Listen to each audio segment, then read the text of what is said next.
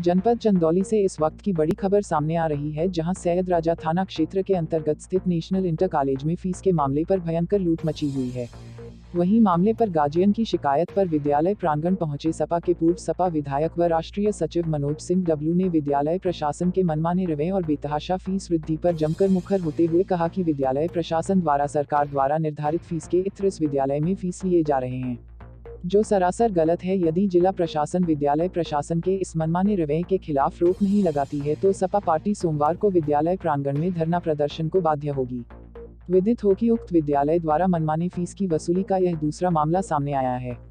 पिछली बार भी सपा नेता मनोज सिंह डब्लू ने विद्यालय प्रशासन के खिलाफ मुखर होते हुए लिए गए फ़ीस को वापस कराया था। गुरुवार को भी ग्राजुएनों की लिखित शिकायत के पश्चात विद्यालय प्रांगण पहुँचे तो फ़ीस की लिस्ट देख हतप्रभ रह गए और विद्यालय प्रबंधन के समक्ष सकलडीहा इंटर कॉलेज की फ़ीस लिस्ट पेश करते हुए कहा कि यह विद्यालय प्रशासन द्वारा मनमानी वसूली है। कोरोना महामारी ने जहाँ लोगों का जीना मुहाल किए है, वहीं बेरोजगारी के इस दौर में फ़ीस की इस बोतरी से आम जनता का बच्चों को पढ़ाना दुश्वार हो जाएगा।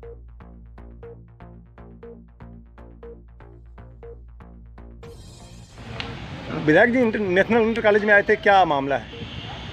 देखिए मैं पिछले साल नेशनल इंटर कॉलेज पर आया था। पिछले साल भी यहाँ पर 900, 1000, 1200 रुपया तक ये लोग पैसा लेने का काम किए थे। मैं यहाँ पर आया। मालूम पड़ा मैं डी को भी बुलाया था और पिछले बार यहाँ का पैसा मैं वापस करवाने का काम किया था।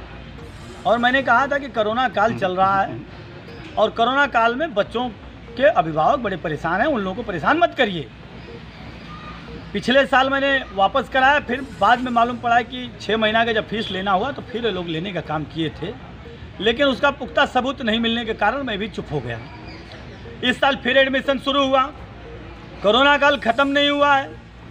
सरकार लंबी लंबी बातें कर रही है, मैं ये मदद कर रहा हूँ, मैं वो मदद कर रहा हूँ।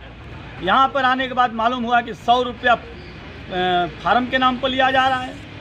सौ रुपया यहाँ के विद्यालय की विकास के नाम पर लिया जा रहा है। और यहाँ पर देखिए, अभी बगल के एक कॉलेज है सकलनिया इंटर कॉलेज। वहाँ पे नौ के बच्चों से दो सौ तैंतीस रुपया लिया जा रहा है। और यहाँ पर नौ के बच्चों को से नौ सौ रुपया लिया जा रहा है। दो सौ तैंतीस सकलनिया में, और यहाँ पर नौ सौ रुपया लिया जा रहा है। ये वैसे ही दस के बच्चों से वहाँ पे तीन सौ चौरासी रुपया लिया जाता है, और यहाँ पे ग्यारह सौ रुपया लेने का काम हो रहा है।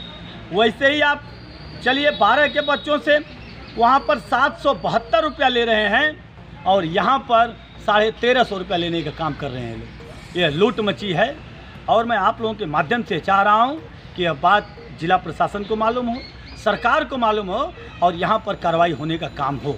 अगर नहीं होता है तो सोमवार को समाजवादी पार्टी इस कॉलेज पर धरना पर बैठने का काम करेगी।